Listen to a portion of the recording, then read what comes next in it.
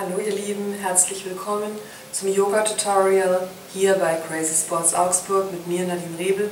Heute möchte ich euch die Figur der gebundene Knoten zeigen. Seine Figur im Stand, sie erinnert euch am Anfang an den Ausfallschritt oder auch an eine Kriegervariation und wir können damit schön in den Twist gehen für den Rücken, dehnen aber auch die Innenseiten unserer Oberschenkel und öffnen unsere Schultern. Ich zeige es euch von beiden Seiten. Wir beginnen im Vierfüßlerstand und vom Vierfüßlerstand in der schönen neutralen Position gehen wir hoch in den Hund. Ich muss kurz überlegen, ich nehme das rechte Bein nach vorne. Ich setze mein rechtes Bein nach vorne zwischen meine Hände und komme in einen Ausfallschritt. Die Ferse schiebt nach hinten, die Scheitelkrone nach vorne, der Hüftbeuger kommt tief. Jetzt nehme ich beide Hände nach vorne neben meinen Fuß und drehe den hinteren Fuß leicht auf, sodass er schön stehen kann. Ich habe hier die Hände noch tief. Jetzt greife ich mit der inneren Hand unter meinem Bein durch und lege den Handrücken auf meinen Rücken.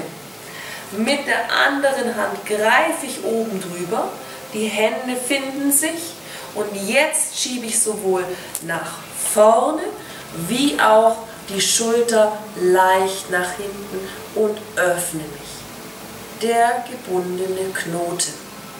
Zum Lösen erst diese Hand, dann die andere, langsam wieder nach oben kommen und ich zeige euch gleich die zweite Seite.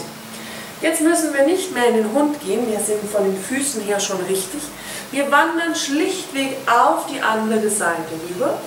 Wir stellen den Fuß jetzt nach vorne, die Zehen zeigen nach vorne, der andere ist leicht verdreht im 45 Grad Winkel und wir kommen von hier aus tief und setzen gleich beide Hände vorne vor auf dieselbe Höhe vom Fuß hier hin. Jetzt merken wir hier schon die Dehnung im Hüftbeuger, gehen mit der inneren Hand und den Arm unter unserem Körper durch, legen den Handrücken auf unseren Rücken, öffnen, kommen in einen großen Kreis, die Hände finden sich und wir schieben nach vorne und drehen die Schulter auf. Beim Ausatmen wir versuchen nicht D weiterzukommen und langsam lösen. Damit ich mich nicht abschneide von der Perspektive, komme ich zurück nach unten. Ihr werdet es merken, es geht auf den Rücken, auf den Po, auf die Innenseiten der Oberschenkel, aber auch auf die Schulter. Ist fast alles mit dabei. Ich danke euch fürs Zuschauen. Bis zum nächsten Mal. Tschüss.